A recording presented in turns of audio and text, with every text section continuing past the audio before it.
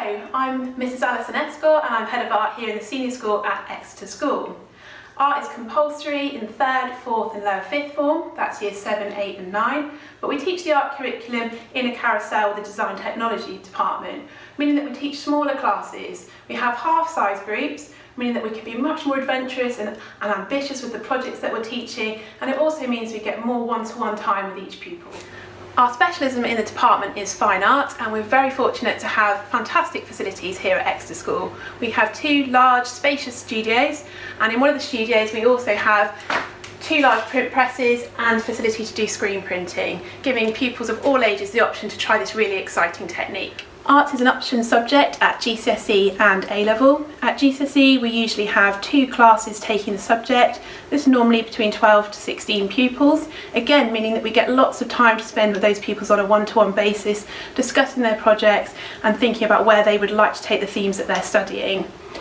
We're a fine art department meaning that we study the AQA fine arts specialism and we deliberately choose this specification because we believe that it gives our pupils the opportunity to explore the things that they're really interested in. So in our department you'll see examples of traditional work such as drawing, painting, printmaking, but you'll also see things like textiles, animation, photography, really a very wide range of disciplines. We have a purpose-built gallery space here in the Art Department at Exeter School and this space is used for a rolling programme of exhibitions throughout the year and this is used to showcase work by pupils, by our staff, um, by alumni and also we host exhibitions by other local schools such as West.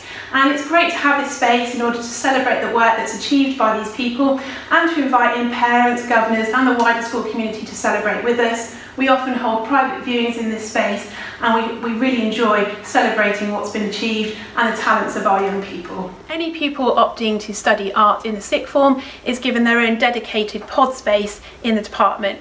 This means at any point during the working day, whether that might be at break time, at lunchtime or in their dedicated private study periods, they've always got a space in which they can work in the art department. It's very much their own and the walls actually become an extension of their sketchbook. This is their personal space which where they can explore their coursework and staff are on hand to give them one-to-one -one support. In addition to the timetabled lessons, we pride ourselves on the extracurricular offering here in the Arts Department at Exeter School.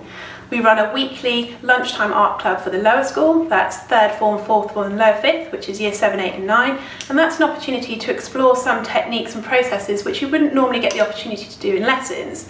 So for example, each autumn, those pupils will work together collaboratively to create the school Christmas card design, and then that card is then used by the head to distribute to other local schools and alumni we have other opportunities. So for the sixth form, for example, we run an after-school life drawing programme. This runs from the November through to the February. There's a fantastic opportunity to boost their observational drawing skills in this really tricky area of the curriculum. And we hire a model and we set up those sessions in two-hour blocks after school and give them that tuition, which is just so valuable in developing that skill.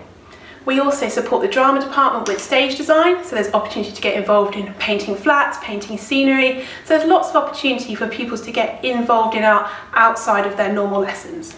The work you can see here was produced this year in response to our residential trip to St Ives. This is an annual trip which we run for our GCSE artists and it's an opportunity for them to produce their second coursework project in response to the Cornish landscape, looking at that artistic colony in that area that is so well known.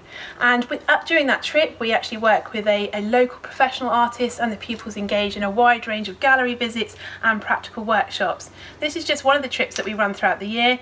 We also run one day visits to galleries for our sixth form pupils and for our middle fifth, that's our GCSE artists. The work you can see here was produced this year in response to a GCSE visit to our school archive and the work is actually based on the memorabilia that the pupils were able to handle and draw from life and this is just one of the examples where we work cross-curricularly with other departments in the school.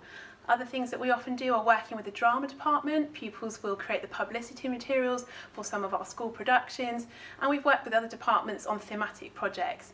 It really provides an opportunity for the pupils to just think outside of the, bubble of the art department and to consider wider whole school themes. The art department at Exeter School really is a welcoming and nurturing environment. We offer an open studio policy, meaning that our studios are open at break times, lunch times and after school for our pupils. This is really an opportunity, particularly for our GCSE and our A-level pupils, to come back into the department at those times and to be able to continue with their coursework, knowing that they have the facilities at their fingertips and also staff on hand to provide individual tailored support. We also support older pupils with applications for arts-based university courses. This might be fine art, it could be fashion design, it might be architecture, and we do this by providing portfolio preparation sessions and mock interviews. In the last few years, we've had a number of pupils go on to study at prestigious institutions.